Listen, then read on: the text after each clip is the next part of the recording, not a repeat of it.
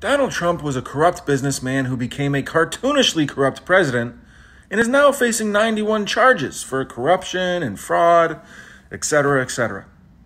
Conservatives on the Supreme Court, especially Clarence Thomas, accept gifts from rich conservative donors like their spoiled kids at their grandmother's house on Christmas morning. And then they laugh at anyone who suggests they should live by a code of ethics. The entire Republican Party is just blatantly corrupt. But thankfully, us hardworking, honest Americans have the Democratic Party to stand up and fight back against this corruption. Shit.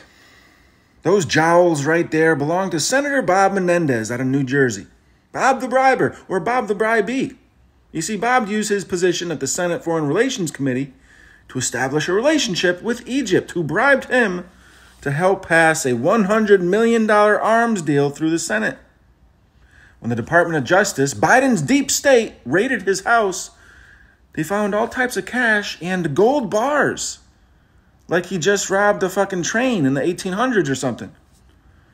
Bob said he had all his cash at home because, you know, it was an old habit. He just, he, he didn't really trust banks.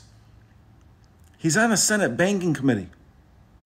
This is actually the second time Bob's being investigated for corruption. Six years ago, his first trial for corruption ended in a hung jury, and he just missed out on being convicted. And then he won re election with the full support of the Democratic Party. And here we are six years later, and he's being investigated again, and he's up for re election again. And he says he's not going to resign.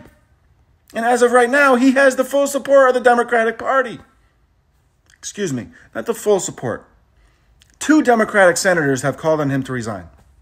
Two. You can't claim to be the party of morality, the party that's going to fight the corruption of Donald Trump, one of the most blatantly corrupt presidents in modern history, when you support one of the most blatantly corrupt senators in modern history. It's not fighting corruption when you only fight corruption on the other side. Democrats have to draw a line in the sand. They have to force him to resign. Otherwise, their entire foundation of morality and anti corruption is simply a house built on sand ready to be swept away at any moment. That was a pretty good metaphor in planned words, if I do say so myself.